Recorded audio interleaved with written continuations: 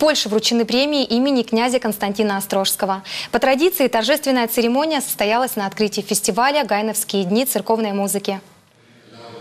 В нынешнем году лауреатами высокой награды были признаны доктор философии, профессор Ливанского и Московского государственных университетов Сухель Фарах, насельница Полоцкой Спаса Ефросиневской обители монахиня Сергия Булькич, профессор университета в Белостоке архимандрит Варсонофий Дорошкевич, Почаевская Свято-Успенская лавра в лице митрополита Почаевского Владимира, викария Киевской епархии и Польское объединение семей жертв вооруженного подполья 1946 года.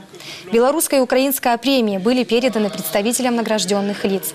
Лауреат премии из Ливана Сухель Фарах от имени всех награжденных поблагодарил основателей журнала «Православное обозрение» и фонда князя Константина Острожского в Польше Евгения Чиквина и Анну Радзюкевич, а также блаженнейшего митрополита Варшавского и всея Польши Саву.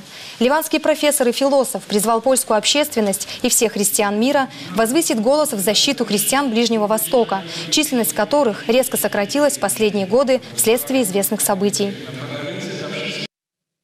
Исторический момент история христианства. Это требует от каждого от нас делать все для того, чтобы осталось христианство на Ближнем Востоке. Христианство на Ближнем Востоке действительно переживает огромные проблемы.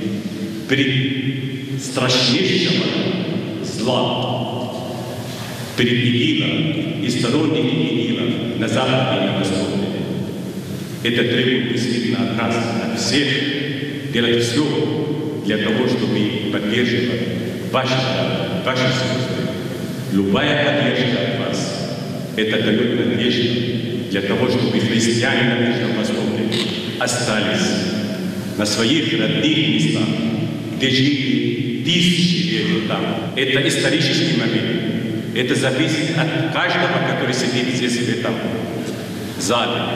Это зависит от каждого христианина. Нужно делать все для того, чтобы спасти христианство.